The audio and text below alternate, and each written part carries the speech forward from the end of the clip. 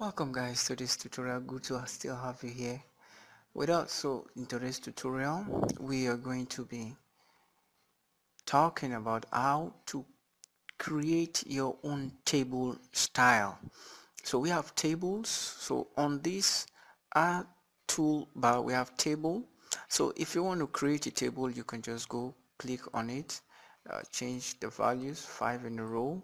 I can say okay I want seven and I want also I want nine of the columns and the columns the width of the columns 2.5 now so I want it to be 4 I want the row height the row height to be um, 2 point let's say 2 let me say the row height to be 2 so I can just say okay. He said insert point I'm going to click on that point so you can see and I'm going to say okay.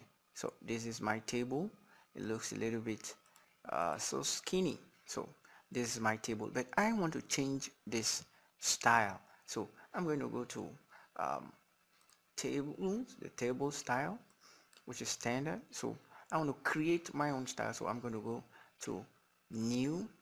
I'm going to call this I'm going to call this the Ak Aki Aki plan Aki plan table I say Aki plan tab so which is architectural plan table. So I'm going to say okay um, a new style architectural plan table so okay uh, start with standard that's good because the default is standard. So I'm going to say continue. So it takes me new table style. This it has grabbed the name already. So the data is on it. I do want standard say no I don't want standard I want another type of text that should be in it. So I don't want it so I am I'm, I'm going to create a new one. So text style. So I'm going to create a new text style. So no I'm going to create a new text style and I'm going to call the same thing. I've called it arc arc plan text I'll call this one now arc plan arc plan text so this what I'll call it. So I'll say okay is arc plan text uh, what kind of text do you need? I'll say okay let me just look for a very lovely text that will suit my my style of the design. So that's what you're going to look for. So I'm going to look Simpson I think I like it. So it's it's a little bit okay but I like it too. It's regular so I want it to be bold. So I can just say um, let me reduce it to be 150 because since it's a table so it's going to be 150 you can also create a new you can rename it if you want to you can delete if you want to. You can there's a preview of how this arc plan text is going to look like. I'm going to say apply and I'm going to say close. So I'm going to come to this text color. You can change the text color maybe red if you want to. You can change fill colors maybe uh, I can say okay my fill colors to be um, maybe cyan. I think you know cyan looks uh, so it does not match with red. So I'm gonna say okay let me leave that white. So I'm gonna say white or I say none.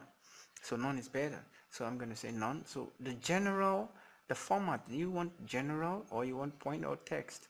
Um, I'm, I'm gonna say upper cases all to be upper cases so I say text all should be upper cases so I'm going to go to the column the column headers. Do you want standard? You say no I want my this thing to be arc plan text. So the same thing. So I'm going to say close. So that's good. That's that's pretty good. So I'm going to say still 180 so I'm going to say 150 150 I'm going to say 150 apply and close. So I'm going to change it to 150 so middle center the alignment now. The alignment now is going to be we have various uh, uh, positioning systems. So but I want it to be middle at the middle of the text just as it is like they are the middle of the table. So middle center so go to format again. I want it to be general so I want the text. So um, I'm going to say okay. So I'm going to go back there I'm turning to upper cases so I'm going to say okay so you can just play around do some few settings on it. So this is the title of it. So you can still go back do the same thing with it.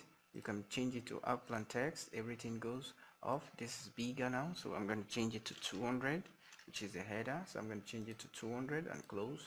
So because you can see the title this becomes bigger. So standard? No. I don't want standard I want plan text. So unplan text on it. So that's it. So it changes. So I'm going to say okay that's it. I want it. So and say okay. So arc plan text set current and make it good.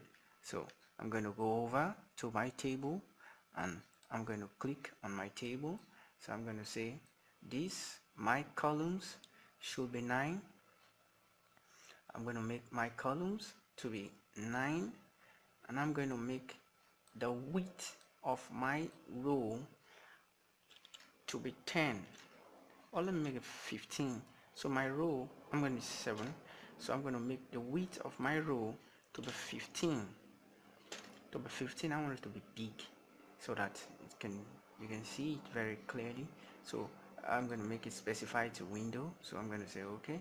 So I'm going to click see insertion point. I'm going to say this is where I want it to be. So I'm going to pull some pulling away you can see can see the action. Some pulling away becomes becomes bigger it becomes bigger it becomes bigger and pretty. So that's it. So you can just go ahead just type whatever you want to type here. So at this I'm going to type um, I'm going to type construction materials. Construction materials. Construction materials. Materials so I'm going to type construction materials. So looks a little bit smaller so uh, we're going to still increase it. So I'm going to type in here 500 so it becomes bigger. So construction materials. So I'm going to hit OK. So this is my construction materials table. Then you can just go ahead and put some values in there. So that is it guys for how to create your own table style and also do some changes to your table text.